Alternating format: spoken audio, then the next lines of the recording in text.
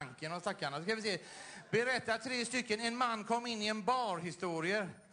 Jag har redan gjort det ju. Ja, vad ni jobbar nu. nu håller de på. I och med att det är sista kvällen så ska de skoja lite med mig. Men okej, okay. det kom in en man i en bar. Och så säger han en tolva whisky tack. Och så häller bartendern upp en tolva whisky. Och så säger mannen så här, fan jag skulle inte ta den här med tanke på vad jag har. Men så sveper han ändå i den. Det är ganska mycket att svepa och ett svep. Så bartendern är lite orolig. Vad, vad har han och killen? Så han säger, vad har du då? Jag har bara tre spänn, säger han. Ja. Så kom det in en halv special gående så här med små bruna fötter så här med en kokt korv med riktig mos han köpt nere i, i Balltorp faktiskt här på en i kanotställe alltså med räksallad och lite en sån vanlig träsked i och går in här med en pucko som sällskap. Hade gått hela vägen från Mölndal och var lite törstig han så här kommer in här. Har du en stor stark till mig? säger han så här, 08 karaktär på, på rösten. Så, så säger bartendern, säger jag, ledsen men vi serverar inte mat här. Så kom det in en man kom det in en, ja, ni. så kom det in en, en, en, en man, säger jag, kom in en mördarsnigel faktiskt. Och uppförde sig jävligt dåligt alltså. Han stod på bakbenen och kissade rakt ut och på tog tjejerna på brösten och, och körde med hatten och mustaschen och era jävla idioter, kom igen, ta för er då! Ärlig fight ska det vara ikväll, stod han här. Ta för er, era jävla...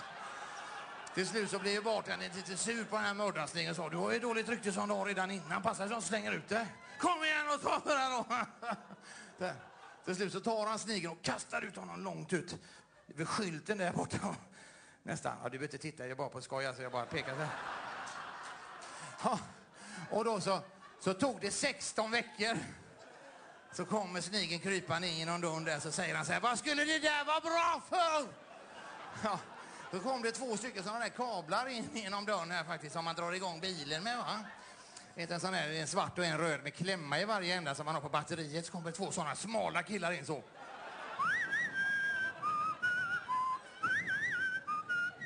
Kommer in så va. Lite torra i halsen, va? lite spooky var det va. Och bartendern var lite grinig för han hade ju nyss haft en jävla snigel inne som hade bråkat och grejat. Det hade varit lite fight och så. Så killarna kommer in och säger ett rör GT på man för fan. Så här, eh, gin tonic skulle de ha då. Va?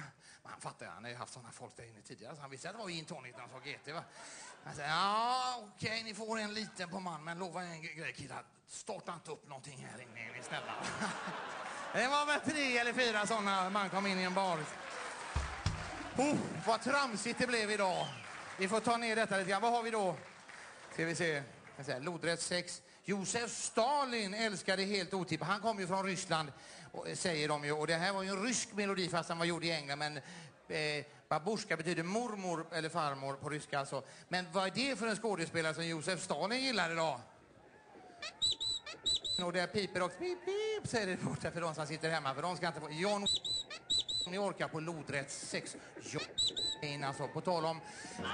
Jag, vet, jag berättade att jag kom från Ucklum tidigare, va? Lite rednecks. John var ju sån rednecks, han kom från södra delarna av USA. Då finns det den här söta historien som jag lovade min son att berätta. Eh, pojken som kommer in, som fyller 12 år och ingen kommer ihåg det hela huset. Han går in till sin pappa och säger Pappa, oh, eh, vet du hur gammal jag blir idag? Nej. Nej, jag, jag fyller 12 år. Ja, grattis. Ja, så går han ut lite, det är en liten, väldigt tragisk historia. Så går han ut, så hittar han sin, sin baborska, sin mormor som sitter i gungstol. Så säger han, eh, mormor, ja.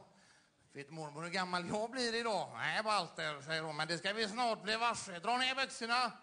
Så får han dra, det är bara på skoj alltså. Det är, det chockar sig, bara en rolig historia. Och han drar ner byxorna och hon tar ett grepp runt kulorna